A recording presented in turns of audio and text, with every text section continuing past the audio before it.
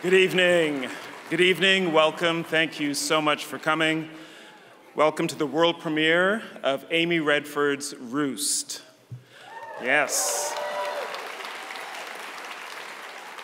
My name is Cameron Bailey. I'm the CEO here at TIFF. I want to thank you all for coming. It's been so good to see people coming back to the festival, back to movie theaters. We missed it, uh, and it's just great to see you all here. I hope you've been seeing other films at the festival, have you? Yes? Excellent. We want to thank some of the people and the partners who have made this year's festival and everything we do at TIFF possible.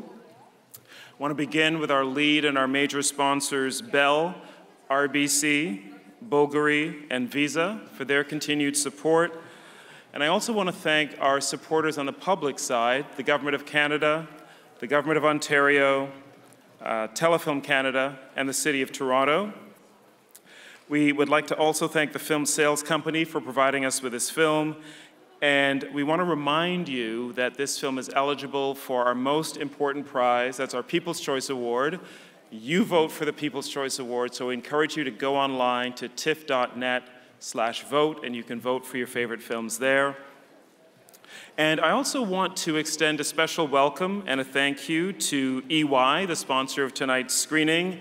Welcome to all the guests of EY, and uh, on behalf of EY Canada's chairman and CEO, Jad Shimaly, a very warm welcome to you. Thank you, EY. Uh, this is the second feature by Amy Redford. Uh, she grew up in New York City, uh, studied theater arts at San Francisco State University, and drama at the London Academy of Music and Dramatic Art. Has had uh, numerous roles on the stage, in television, and film as an actor, uh, and made her directorial debut with a film called The Guitar. If you haven't seen it, please check that out. What I really appreciated about this film that you're about to see, Roost, is that it takes what is a very contemporary dynamic between parents and children uh, as they mature and become teenagers, but also between the life within a family and the life online, and how those things can intersect in sometimes very troubling ways. And she's turned that into a very smart blend of thriller and family drama uh, with a terrific cast uh, led by Grace Van Dien. Fans of Grace Van Dien in the house, Summer Phoenix, Kyle Gallner, Jesse Garcia, and other uh, uh, remarkable actors. A film made with real heart and with something I think to say to anyone who is active online, anyone who's dealing with those family dynamics that you'll soon see, and done with real intelligence, real heart. She's come to introduce the film to you this evening. Please join me in welcoming the director of Roost, Amy Redford.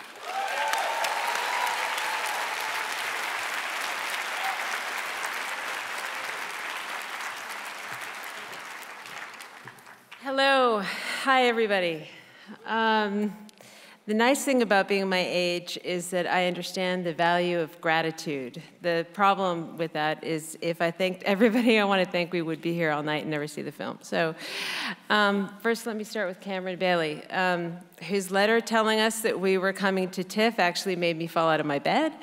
Um, I love this festival. I love the thought, and yes, right? I, I just. Um, I love the thought and the enthusiasm of the audiences here, and I love the city. Um, I also want to thank the programmers and the staff and the volunteers for your diligence and service in these challenging times. Um, really, I mean, it takes a lot. And I've seen one great film after another, and it's a wonderful, wonderful community to be included in. Next come to my front lines, to my three girls, Eden, Addison, and Aria. Your constant go, mom, makes all of this possible.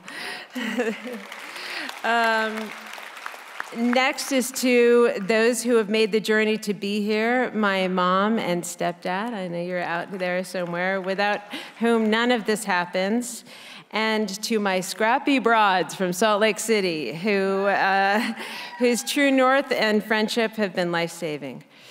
Now, on to our team. Um, making movies is not a solitary exercise. I first want to thank Scott Organ for trusting me with his words.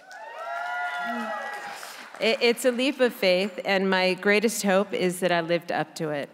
And thanks to Craig Wedren, my composer, who climbed aboard from the very beginning, and to the great and beautiful Bobby Bukowski, who wish he could be here with us tonight, who is our director of photography.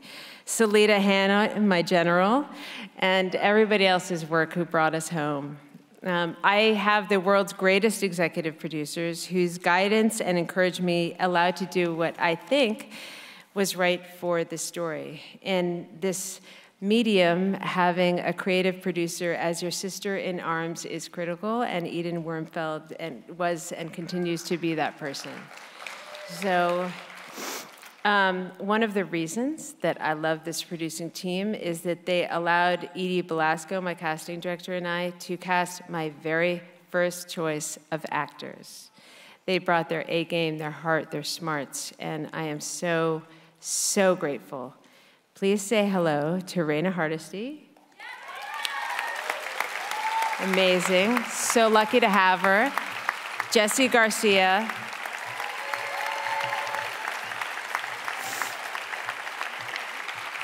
Summer Phoenix.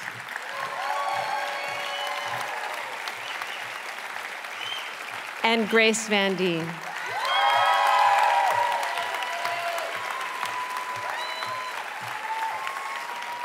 You all gave yourselves to me. They gave themselves to me, and, they, and you brought so much of you, and I am so grateful. Kyle Gallner can't be with us due to his shooting schedule, but he sends his love to one and all. I'd like to thank my dad, too, for seeding in me the value of storytelling as a way to broker the divide and bring us closer. My deepest wish, my deepest wish is that this film is a provocation. Um, an invitation to examine ourselves and um, our actions and to forgive ourselves for our humanity. So, thank you so much for sharing it with me. Thank you for coming tonight.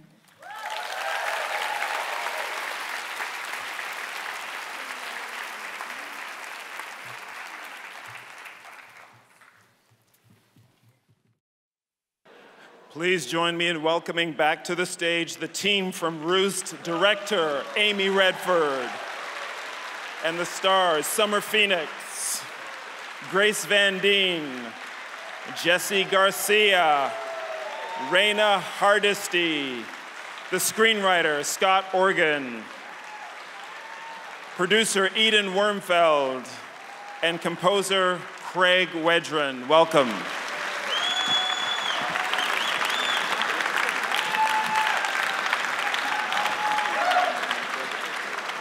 Thank you all so much for this film. Um, Amy, I want to start with you. Uh, we've all been teenagers. Some of us have teenagers in our lives. What side of this dynamic did you approach this story from, the daughter or the mother? Both. Both? Yeah, okay. both. I mean, I have realized that I don't actually understand the experience of my child. It is a very different land that she's living in, and that I needed to stop talking so much. I needed to sit across the table from her and start listening. Um, and so there's a mom part of me that, you know, is terrified. And there's also a child part of me that wants to reach out and be understood. Um, so this is sort of part of that with a story like this, so much uh, depends on the relationship between mother and daughter. Can you talk a little bit about casting uh, Summer and Grace in this movie and why those two for these roles? Um, it was the easiest thing ever. I mean, I have Summer to really thank for a lot of this project happening because she took a leap of faith and we kind of locked arms as people that love what we do, but also have dedicated a lot of our lives to our children. And, you know, we decided, let's make a thing, let's do this together. And it kind of got the machine running. And of course, adding Grace to the team as somebody who is thoughtful and yet so open and free and, um, you know, such a talent. Uh, it was just, it, it sort of, you know, spanned out from there. And of course, from Scott's words, it doesn't happen without the words. So. Um, Summer and Grace, I want to ask you about developing that dynamic. You're working with uh, this screenplay from, from Scott, which I think has a lot of what you need in there, but what else are you bringing to establish yourselves as daughter and mother in the film? I mean, I think once meeting, it was pretty easy. Summer and I built a rapport right off the bat. We just get each other, I think. Yeah, there was a comfortability and warmth in Grace and truly, I have two sons, so it just immediately felt like the daughter I never had. You're the mom I never had. nice. Um, I want to ask uh, the producer and the writer about putting this project together with Amy, Eden, and Scott. Um, this is a project that I think a lot of people can relate to. It's very much based on the family dynamic. And I think it, it comes at a time we've all been, I think, over the last two years, spending a lot of time with our families. Maybe discovered things about our parents and children that we didn't know, maybe didn't want to know in some cases. But in terms of putting this project together now, and what it means to, to go out to families now who have been through a lot. What, what was, what, was, um, what was driving you in terms of making this particular project now? Thanks. Oh, I'm good? Okay. Um, I was really interested in the idea of unprocessed trauma and what happens when you don't deal with your stuff. Um, that's what really grabbed me when I read the script. Um, and I was interested in the way that technology is used and how we were going to portray that. And, um, you know, I was, I was brought on by Geraldine Dreyfus, our executive producer, who's not here tonight, um, and she brought me to the party. And Amy and I met, and we spoke a number of times on Zoom, and I was like, okay, are we getting married? Like, is this happening? Are we doing this? and she went down on one knee, and that's true. um, so um, you know, it was thrilling. I mean, I had spent the lockdown in New York City, and um, I hadn't done a, a fiction film in a long time, and um, my family knew that I was eager to get back to fiction, and I read this, and I just was like, I want to do it, and I also get to leave town. so that was exciting. Um, I'll let Scott talk. Yeah, I'll just add we didn't have a title for a while, and we were, we were polling everyone that we could find strangers, people on the street. Um, and something about roost, I think, is kind of lovely. It's, uh, you know, it's sort of chickens coming home to roost, which I really think is uh, one of the big things in this story. It's, you can do these things, but they don't necessarily go away. And, you know, what I loved about what Amy was able and everyone was able to do with it is people are complicated and people are good and people are bad all at the same time. And people can be good and do bad things. And how do we get past that? I think it's just a, a compelling question to ask, and why not do it in a film? Uh, Raina and Jesse, I want to ask you about what the environment, the atmosphere was like uh, on set. It seems like a very intimate film, but what was the vibe like? And also, what's Amy like as a director? a dream. It was all so wonderful. Um, just saying like what Summer and Grace have already said, it was just so warm and comfortable and creative and safe. And I just, yeah, it was an absolutely wonderful experience. Yeah. Um, it was fun. Thank you, Jesse. Yeah. No. uh, we got a chance to we got a chance to play and kind of explore the characters and, and the dialogue, and um, it was a it was, um, it was a great work environment, something kind of like I've always been wishing for and don't always get to be able to collaborate with my, with my scene partners and with, with uh, director and producers and writer. Um, it was fun, it was great. Um, I want to um, come to your questions in a moment. I have one last question for Grace. Um, Grace, many of, uh, of, us would have seen you as Chrissy in season four of Stranger Things recently. Um, this feels like it is a, uh, a real star making role in film.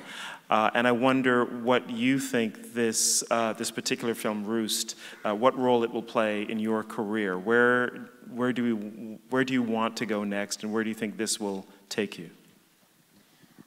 Well, I think my dream has always been to make indie movies. And so this feels right on path to what my ultimate goal has always been. And I'm very grateful to be here. Thank you. Well, let's hear from you. If you got questions for anyone up on stage here, we'd love to hear it. And if you're up in the mezzanine or the balcony, uh, you may, there we go, we got some light, so we can see you a little bit better now. But please feel free to raise your hand, call out. We'll start right here. Hi, uh, this question is for Grace.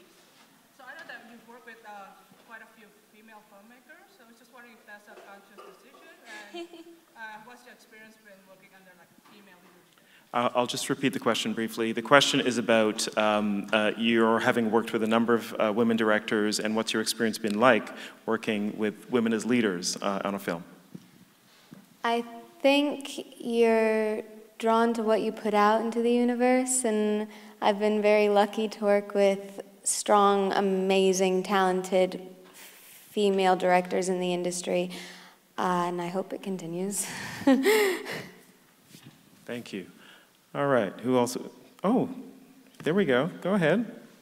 So my question is for Grace and one random member. They can pick whoever to answer the question. But my first one is for Grace, and I wonder how was how was it like filming some parts because I heard someone say that they were filming it in COVID, and like they were starting the cast and stuff. So I just wanted to ask how was it filming in COVID? And that's Okay. my first question. I'll let whoever answer. Okay, so sounds like a two-parter, but uh, the first question, very thoughtful uh, young uh, audience member, uh, wanting to know what it was like to shoot during COVID, first for Grace, and, and then she's offered it to anyone else as well. I think it, it was different. I mean, everyone had to wear masks, so it was something new. We were all a bit rebellious with that. uh, Yeah, I mean, I, I think um, in, a, in some ways you have to be so deliberate about the times that you come together. And so when you get to taste, take that mask off and you get to sort of be in an intimate space, there's something very um, intentional about it. And so sometimes that's a positive thing because we get, we finally, we crave connection. And so when you get it, I think in a weird way, the actors bring that to the table the way that we all do. You know, you finally get to sit across the table from somebody and it's like sort of a breath of fresh air, so. Okay, thank you. All right, we will we'll allow you a second question. Go ahead. So my second question is, how was it like filming, like when you had to do two parts with someone else? How was it like filming it? When you had to do two parts? Like two parts. Example, when two people had to film together, Uh-huh. it was like the first time. Yes. How was it like filming with that person and getting to meet with them? Got it. Thank you. Okay, I think I understand now. Thank you.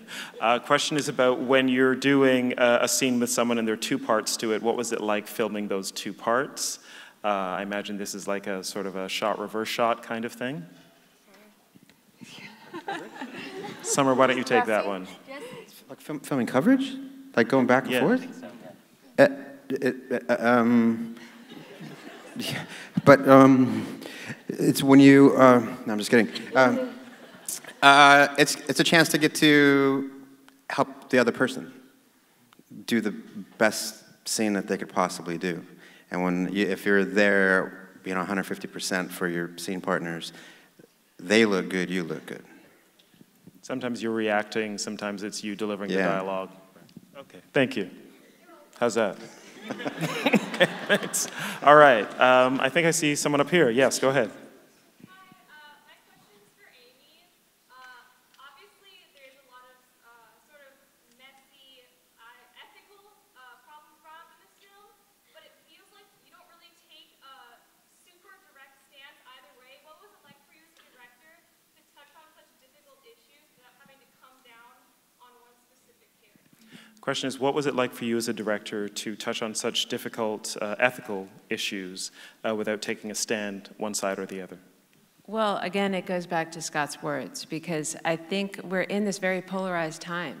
It's very easy to demonize. We can throw our grenades from behind bunkers, but really, do we understand what is the thing that, that caused somebody to behave the way that they do? And if we pump the brakes for a second on our judgment and try to hear each other, that perhaps we get to a different place. Um, it's a very interesting assignment as a director because it allows each of the people that come to play with you their dignity of the human beings that they've come to play because they have the right to their experience and their perspectives, just like so many of us have the right to our experience and our perspectives.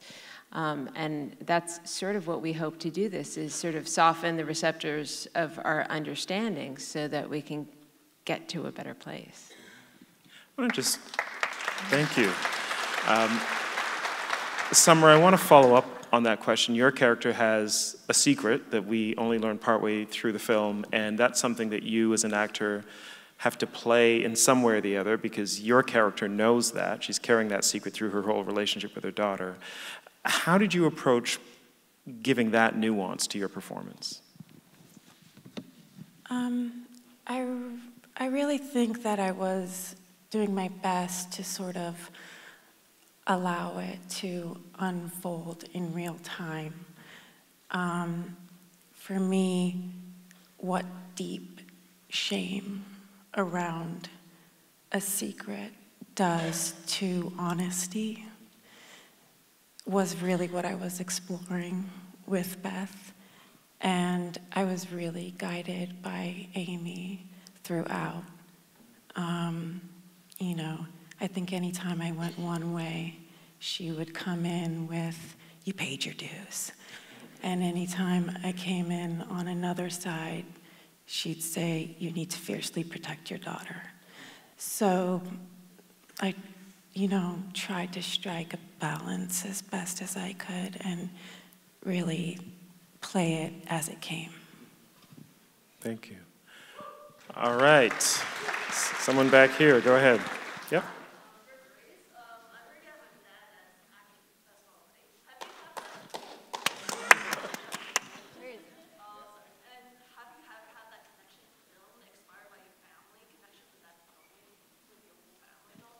Question is about uh, your father being an actor as well, and have you had that connection to film through your family members? Uh, yeah, I would not be an actor without my dad. I wanted to be a writer. I wanted to be very much behind the scenes, but um, he was kind of my sole caregiver growing up, so I followed him around to different sets, and it kind of just became my life organically. Um, hi, Dad.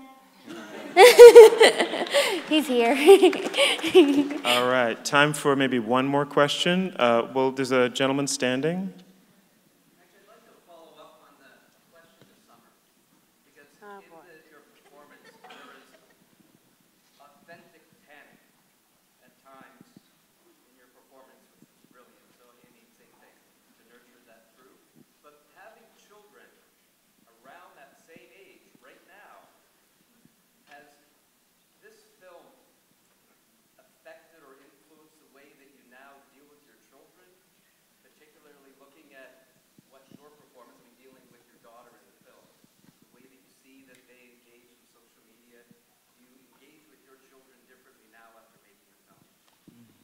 Question is about uh, how you engage with your own children having made this film, and do you engage with them, and particularly around social media, differently?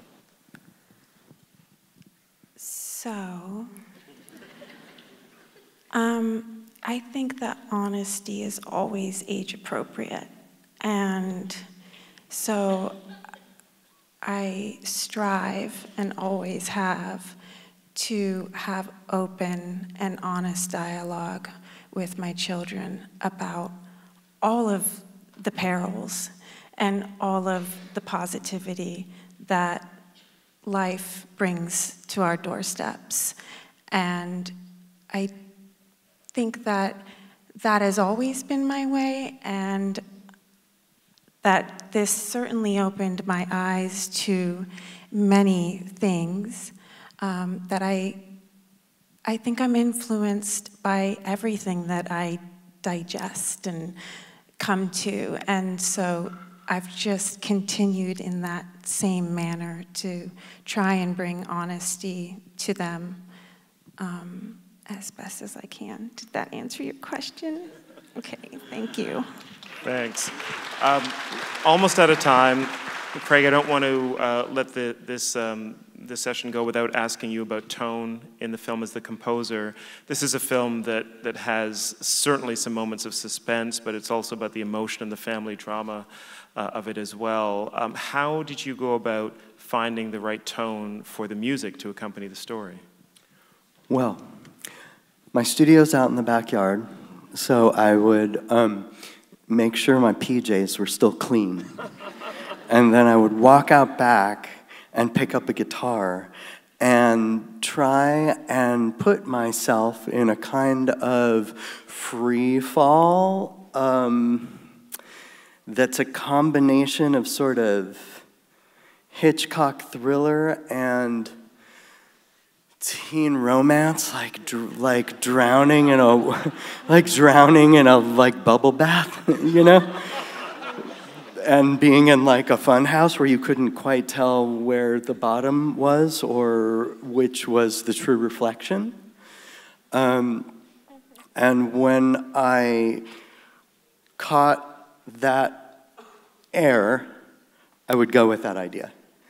And Amy, bless her heart, just kept saying, Yeah, yeah, yeah, go. Go more. Or like, mm, maybe a little left or a little right. And, um, and it was very exciting.